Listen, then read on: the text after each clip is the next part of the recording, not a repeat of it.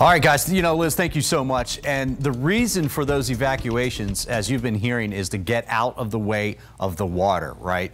Uh, I want to take you to this map here. What this is is showing you storm surge. And this is this area in here, and I'll zoom in a little bit to give you an idea. But I want to back up. This particular update from the Hurricane Center came out yesterday evening. That's when the forecast track had it coming just up our coast. That's almost worst case scenario for us here in Tampa Bay because counterclockwise spin of those winds pushes water right up into the bay.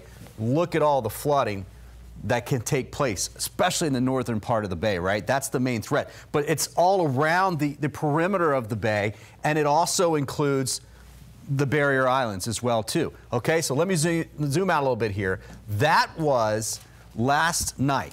Let me show you the very latest update from the Hurricane Center and it's tough to see anything. In fact, watch this. I got to go all the way over here to show you where the forecast track of the center is.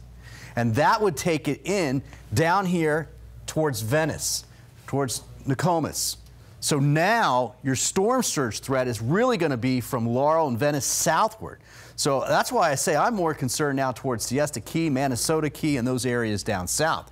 Because if the center is here, it will push water up into here. Now, there are a lot of folks that are now sitting and, and watching this and hearing me say this from uh, a shelter in Pinellas County or in Hillsborough County. The threat now in this area is much, much lower we have to make sure we don't know that this is not locked in. That's the problem, right? And that's why we know things are going to be changing all the way through this. This is a very good sign for Tampa Bay people because that storm surge would be very low. Let me show you right now. There will be some areas, and it's tough to see.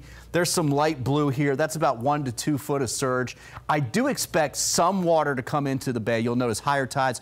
Uh, Rich was just telling me we have moon tides as well, uh, king tides because of the new moon, uh, I should say. And they're going to peak tomorrow night into Thursday when this is coming through. So tide's going to be running high anyways, but eventually, if the storm goes to our south, it's going to blow water out of the bay and quite a bit of water out of the bay. It could be another similar situation to what we saw when Irma went by.